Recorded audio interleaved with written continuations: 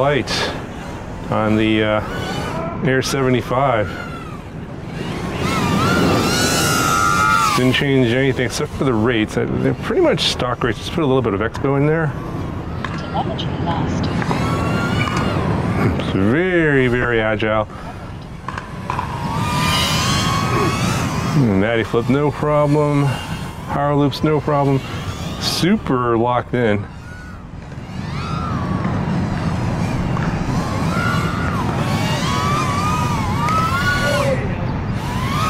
And very little prop wash.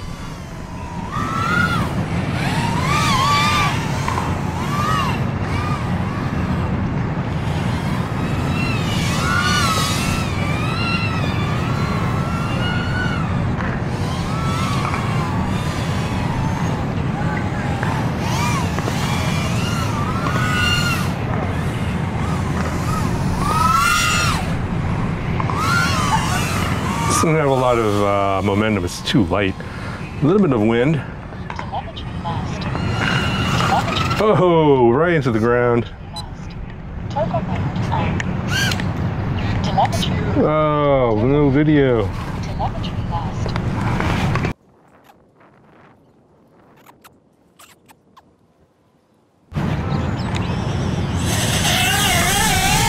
So bent a prop and smushed the battery on that Matty flip because I went right into the ground.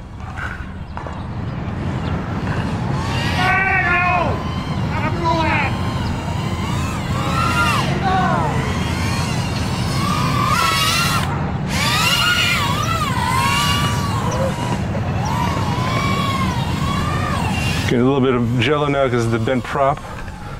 Actually, it's got like a chunk taken out of it. Keep getting these telemetry lost warnings that I'm like right next to me. I don't know why. Could be that cell tower over here.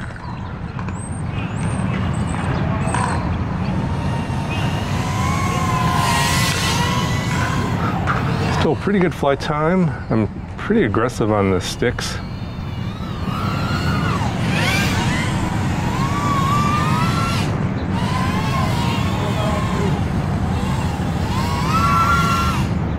Oh, right off of the top. Boom.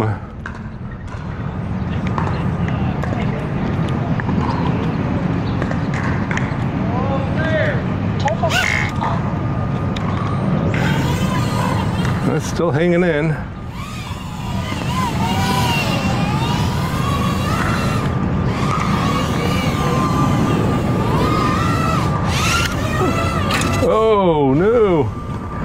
We're going all over the place now.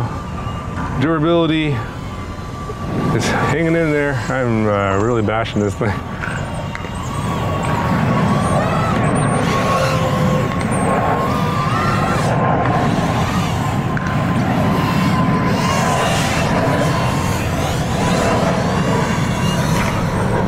I'm sure I got at least a couple more bent props now.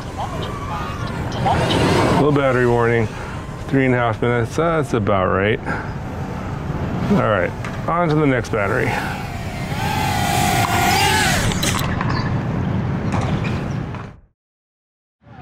All right, so doing a little bit different video today. Uh, there's already been like a thousand reviews on the Air 75 already. I'm not going to get into the details as to why I'm reviewing this so late. I basically didn't have it. And I figured, well, let's just crash the hell of this thing on the first flight and see how durable it is. You can see already that they changed the canopy there because that uh, UFL connector is in the way. And um, uh, the antenna popped off anyway in that crash where I uh, did the Matty flip and went backwards straight into the ground. And the battery didn't fare so well, so it got a little squished. Still works, but I'm not so sure if safe to use this. And the casing got squished, and as you know, I like uh, peeling the stickers off, but mainly because the uh, frame is really tight. With the stickers on, it's hard to get the uh, uh, batteries in there. They do go in, but a little more, a little more difficult. Uh, I'm not going to go into all the details spec-wise.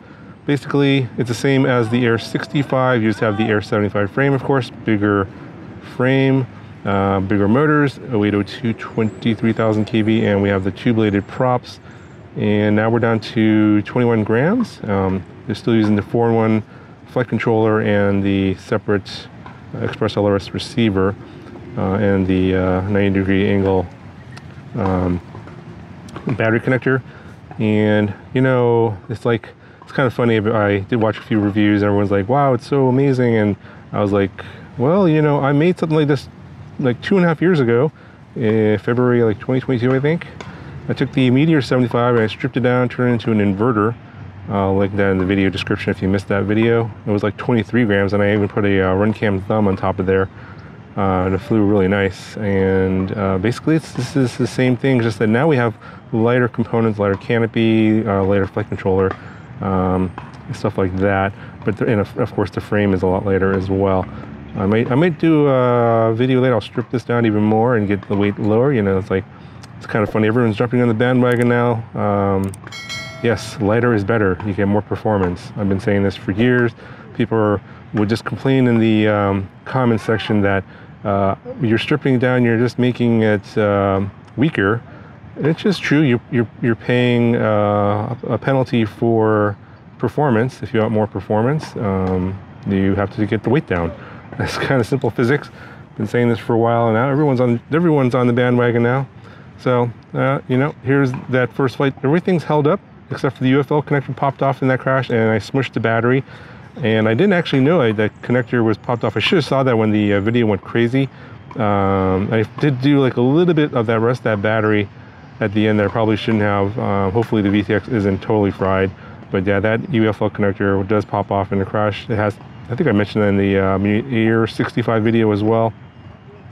Probably best to put some glue on there, but of course I just um, charged up some batteries and went and flew it, and we'll see. I wanted to see how it would do.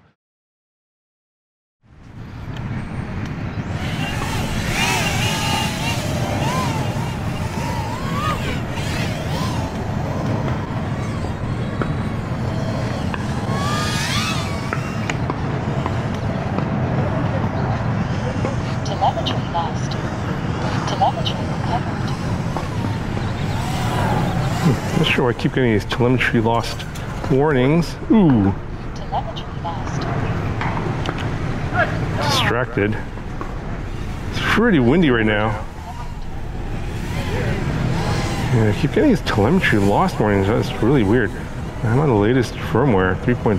Telemetry lost. Telemetry recovered. So strange. Telemetry lost. Telemetry recovered. All right, I gotta check if the uh, VTX antenna is still on there. VTX antenna is still on there.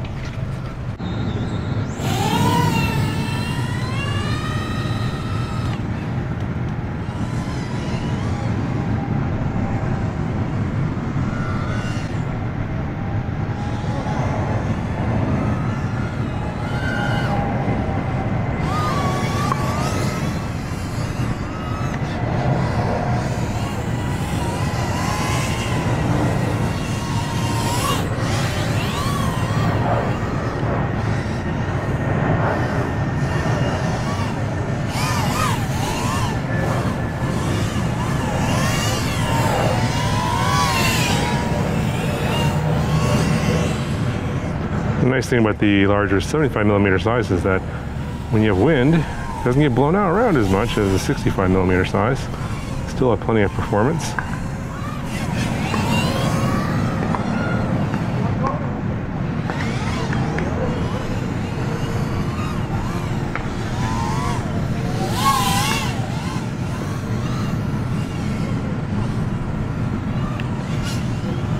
Telemetry lost. Oh, the telemetry lost. Telemetry. So weird.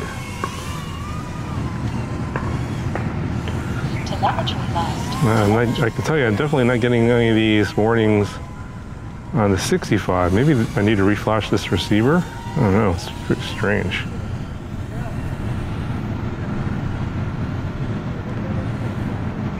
Let's Telemetry see. lost. Telemetry recovered.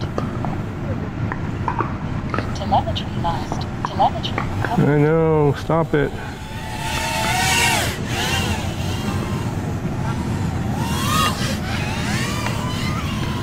Hmm. And the, maybe needs to reflash the receiver.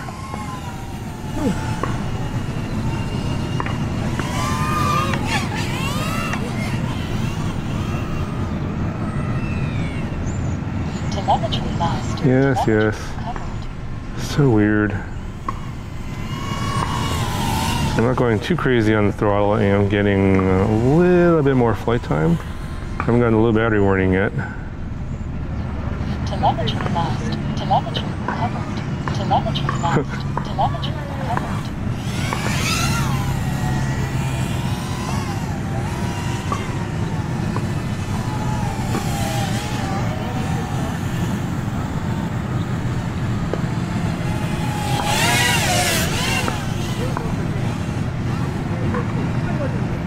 I mean, the pit is really nice. Locked in, even with a little bit of wind here.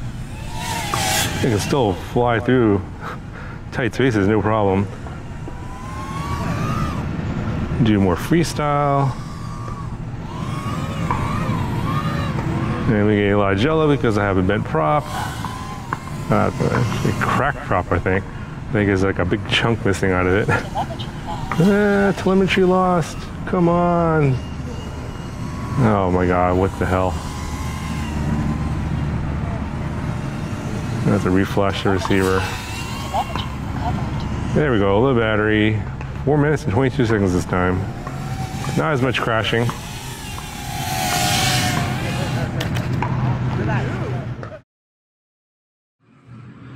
All right, so a little bit closer look at the damages here. So the prop over here is like kind of mangled up. A couple of them are kind of mangled up. Like there's another one right there. It's just kind of the chunks are taken out of that one. Same over here. It's kind of consistent. The canopy broke over here. As you can see. I think that's where all the jello is coming from. And the frame cracked here in the back. These are all pretty easily to be repaired. I can just put a little bit of welders here to hold this together. The frame is about to go over here. So you can kind of see where the weak spots are. Obviously, you see all these stress stress marks here because he like crashed into the ground backwards. And that's where most of those are. There's also some in the front. See some of the stress marks you can see you got these joints where this frame is going to eventually break. But you know, I could put a little bit of welders in here and easily repair that as well as the canopy. And they do include a spare canopy. So go ahead and do that, and then we'll just keep flying it because um, uh, yeah, it's still working just fine. And then I'm gonna put some welders on that uh, UFL connector so it doesn't pop off again.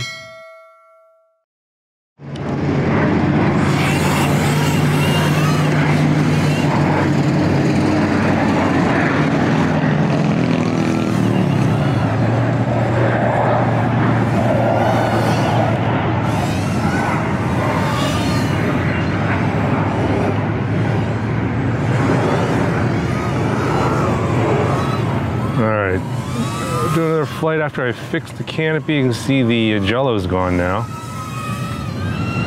They're mostly gone. I, I bent the props back with uh, some needle nose pliers. A lot more windy today and sunny.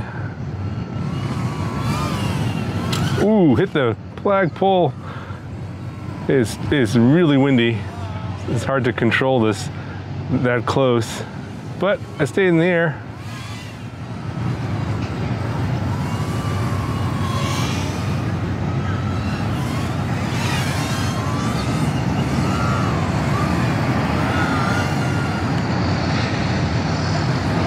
It's uh, still flying really well. It's no, no worse for wear from all the abuse it took yesterday. And um, I did reflash the, whoa, don't hit the tree. I reflashed the uh, ELRS receiver. Now the uh, telemetry loss warnings are gone. I guess this didn't take the first time. It's really weird. I mean, it took my um, bind phrase. That's why, that's why usually I, just fly, I usually flash to the latest version to match my radio. And I put the bind phrase in, and that obviously worked because I could, it was bound and I could fly it. It was getting me all these weird telemetry loss warnings, so I guess You know, ELRS isn't perfect, but you just have to reflash it again and that seems to fix the problems. Everything's fine now.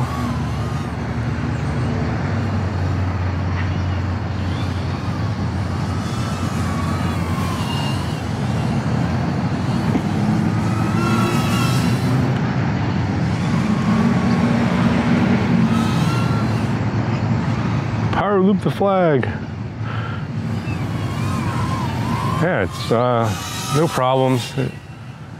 You know, uh, things that are lighter are actually more durable in my experience.